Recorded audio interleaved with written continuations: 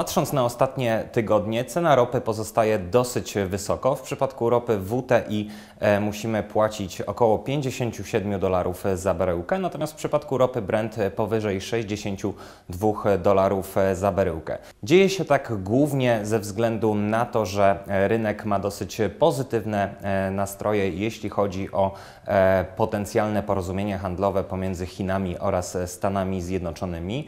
W, w ostatnim czasie odbyło się kilka rozmów e, pomiędzy tymi dwoma krajami i prawdopodobnie nie dojdzie do nałożenia kolejnych e, taryf celnych na chińskie produkty, co ewentualnie dobrze wróży e, perspektywom handlowym w przyszłym roku.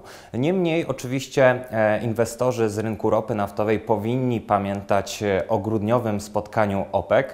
Na tym spotkaniu prawdopodobnie nie dojdzie do rewizji limitów produkcyjnych, które zostały ustalone na nowo w, podczas lipcowego posiedzenia.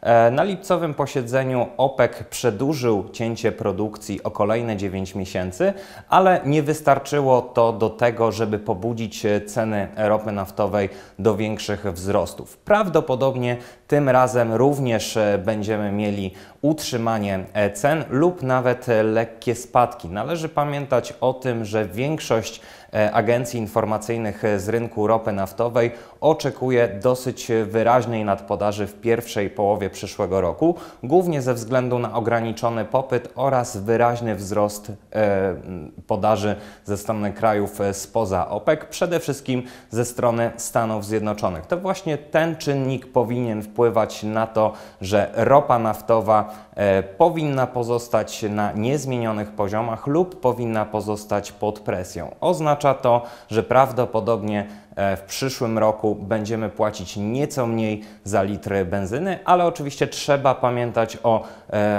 sezonowym wzroście e, popytu na benzynę, dlatego na święta prawdopodobnie będziemy płacić nieco więcej niż obecnie.